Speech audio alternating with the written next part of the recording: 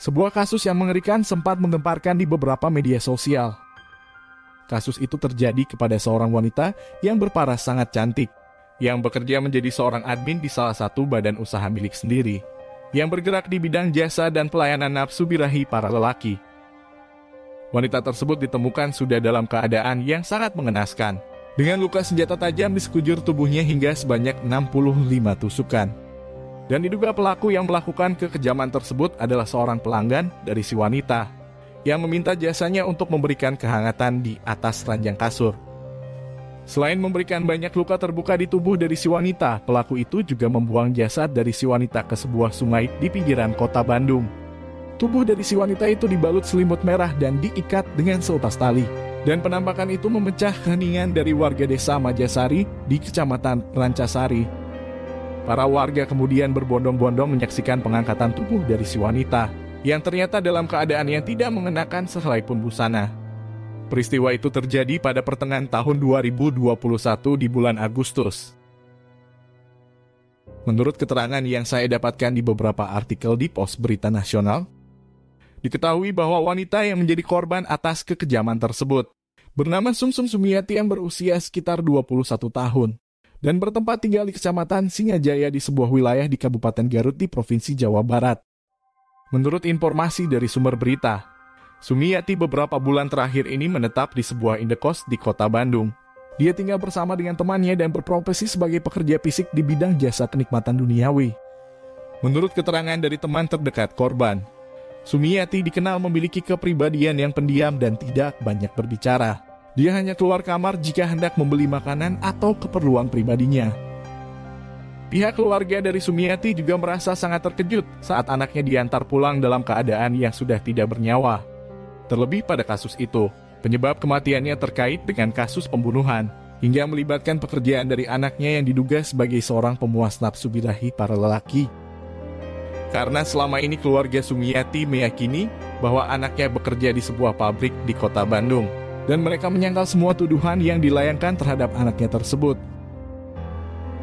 Kejadian yang mengerikan itu berawal dari kesaksian seorang pria yang hendak memancing di sebuah bantaran di Sungai Cidurian.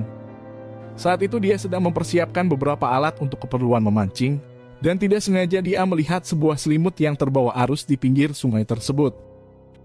Awalnya pria yang bernama Samaran Santoso itu menduga bahwa selimut itu hanya sebuah kasur usang yang sudah rusak dan sengaja dibuang oleh pemiliknya. Namun setelah diperhatikan lebih teliti, Santoso kemudian langsung terkejut karena selimut yang berwarna merah itu berisikan sebuah tubuh dari seorang manusia. Santoso selanjutnya bergegas cepat untuk memanggil temannya yang juga sedang bersiap untuk memancing di sana. Dengan muka yang menyimpan rasa kepanikan, dia kemudian memberitahukan atas penemuannya itu. Hingga beberapa menit selanjutnya, mereka akhirnya bisa memvalidasi bahwa itu memang tubuh dari seorang manusia yang terikat seutas tali dan terbalut dengan selimut merah. Santoso dan kedua temannya kemudian menelpon aparatur desa untuk segera datang dan melakukan evakuasi atas tubuh tersebut. Hingga setelah beberapa menit kemudian, aparatur desa bersama dengan pihak kepolisian akhirnya datang ke sungai di pinggiran kota itu. Mereka selanjutnya meminta tim Basarnas untuk melakukan evakuasi terhadap tubuh tersebut. Dan sembari menunggu proses pengangkatan mereka juga memberi garis pengamanan agar para warga yang memiliki rasa penasaran tidak memperlambat kinerja dari tim Basarnas. Pengangkatan tubuh itu memerlukan waktu hampir setengah jam, hingga setelah tubuh tersebut sudah berada di atas bantaran sungai. Mereka kemudian terkejut karena tubuh itu ternyata milik dari seorang wanita, yang wajahnya terlihat masih sangat muda. Dan setelah selimut itu kemudian dibuka, tubuh si wanita ternyata dipenuhi dengan luka di hampir sekujur tubuhnya. Terdapat juga bercak merah yang sudah mengering, dan karena tubuh itu sudah melalui proses pembusukan, penampakan tersebut semakin menambah situasi menjadi sangat mencekam. Pihak kepolisian selanjutnya membawa tubuh dari si wanita untuk dilakukan penyelidikan yang lebih mendalam. Pihak kepolisian juga meminta keterangan dari beberapa saksi di sana mereka menanyakan perihal identitas dari tubuh itu ke beberapa warga setempat. Dan semuanya sepakat bahwa si wanita bukan berasal dari desa mereka. Hingga pihak kepolisian meminta tim khusus untuk melakukan identifikasi pada tubuh yang sudah dalam proses pembusukan itu. Hingga kurang dari satu hari pihak kepolisian akhirnya bisa mengungkap identitas dari korban secara lengkap. Dan hal itu adalah sebuah tahap yang bagus untuk mengembangkan kasus tersebut agar menemukan pelaku yang sebenarnya. Dari beberapa penyelidikan dan investigasi, pihak kepolisian mendapat titik terang akan kasus penemuan tubuh di sungai Cidurian tersebut. Mereka mendapatkan keterangan bahwa si wanita beberapa hari sebelumnya telah menyewa sebuah apartemen di Kecamatan Jatisari di kota Bandung. Pihak kepolisian selanjutnya menggeledah kamar sewa itu dan memeriksa kamera tersembunyi yang berada di apartemen tersebut. Hingga beberapa jam kemudian, pihak kepolisian berhasil mendapatkan seorang pria yang menjadi terduga pelaku. Pria itu terpantau menjemput si wanita di apartemen tersebut dan membawanya pergi menggunakan sebuah sepeda motor.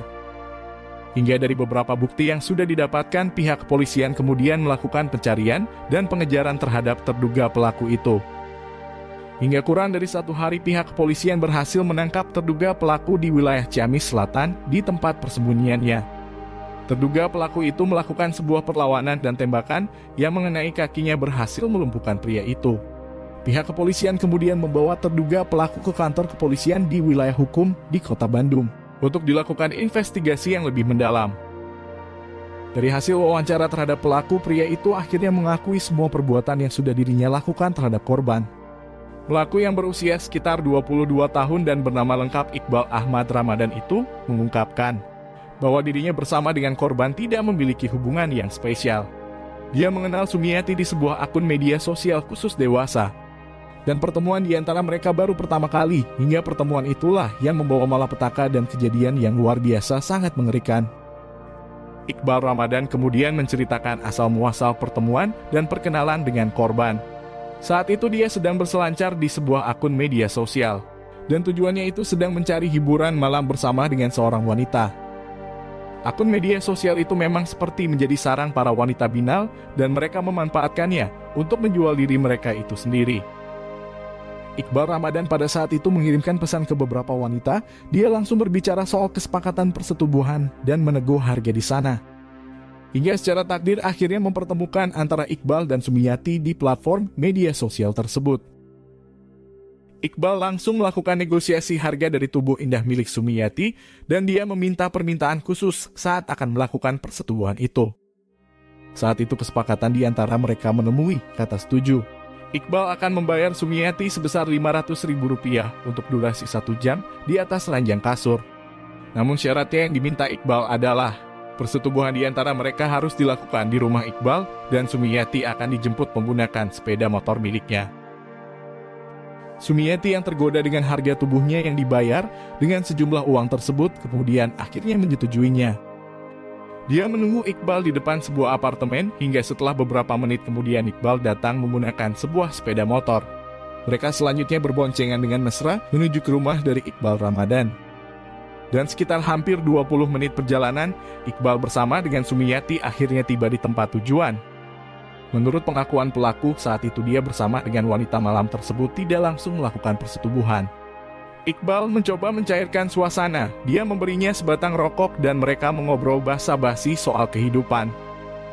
Setelah rokok itu habis, Sumiati kemudian mengajak Iqbal untuk melakukan hubungan badan agar dia bisa segera menyelesaikan pekerjaannya. Mereka kemudian melakukan ciuman dan Sumiati mencoba menaikkan birahi dari pria yang baru berusia 22 tahun itu.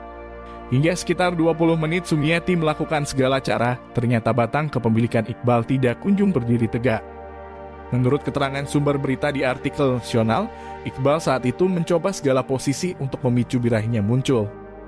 Namun nyatanya dia tetap tidak bisa berdiri dan persetubuhan itu menjadi gagal total. Sumiyati yang tidak sabar dengan hal tersebut kemudian meminta untuk pulang dan tidak lagi mau melayani pelanggannya itu. Sumiyati mengatakan bahwa dirinya sudah tidak berhasrat untuk melanjutkan kesepakatan tersebut dan dia tetap meminta bayaran kepada Iqbal. Namun karena Iqbal tidak mendapat pelayanan secara keseluruhan, dia pun menolak untuk membayar dan menyuruh Sumiyati untuk membuat batangnya bisa tegak secara sempurna. Hingga akhirnya pertengkaran di antara keduanya tidak bisa terhindarkan. Sumiyati bersikukuh untuk dibayar sejumlah 100 ribu rupiah karena sudah menyentuh atau sudah berusaha semaksimal mungkin agar burungnya bisa berdiri. Dan Sumiyati tidak mau kalah karena sedikitnya Iqbal Ramadan sudah mencicipi tubuhnya. Akan tetapi Iqbal merasa bahwa itu tidak sesuai dengan kesepakatan di antara mereka, dia juga tetap bersikeras menolak untuk membayar. Dan sebuah perkataan yang tidak pantas akhirnya keluar dari mulut Sumiyati dan itu sangat menyakiti dan merendahkan harga diri dari Iqbal itu sendiri. Sumiyati berteriak keras, memaki dan menghina Iqbal dengan nada yang tinggi. Saat itu Iqbal langsung emosi dia benar-benar marah terhadap perkataan dari Sumiyati. Iqbal kemudian mengambil sebilah tajam yang berada di dapur rumahnya, dan tanpa berpikir terlebih dahulu dia langsung menghujamkannya ke tubuh dari Sumiyati. Kejadian itu sungguh sangat cepat hingga Sumiyati tidak bisa melakukan perlawanan dan mempertahankan dirinya. Iqbal begitu sangat ganas, dia menusukkan sebilah tajam itu ke payudara hingga ke lehernya secara membabi buta. Sumiyati tergelat tidak berdaya, sirup merah mengucur deras beberapa luka terbuka di tubuhnya. Saat itu dia hanya bisa menatap langit-langit rumah dengan tatapan kosong, napasnya sudah tidak bisa diatur dan dikendalikan. Sementara Iqbal terus-menerus melancarkan serangan dan tercipta 65 tusukan yang bersarang di tubuhnya. Sumiati akhirnya tidak bisa menahan rasa sakit itu. Dia kemudian menghembuskan napas terakhirnya dengan cara yang paling sadis. Setelah melihat tubuh dari Sumiati yang sudah tidak bernyawa, Iqbal Ramadan seketika langsung panik dan ketakutan dengan apa yang sudah dirinya lakukan. Dia kemudian membungkus tubuh dari si wanita itu dengan sebuah selimut dan mengikatnya menggunakan sultas tali dengan begitu kuat. Saat itu di pikirannya hanya satu bahwa tubuh dari Sumiyati harus dibuangnya ke sungai yang berjarak tidak jauh dari tempat tinggalnya.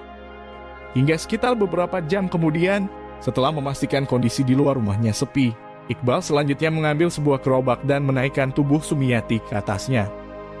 Iqbal kemudian berjalan sambil mendorong gerobok yang berisi tubuh Sumiyati. Dia bahkan sampai berkeringat dingin karena rasa ketakutan yang begitu memuncak tinggi.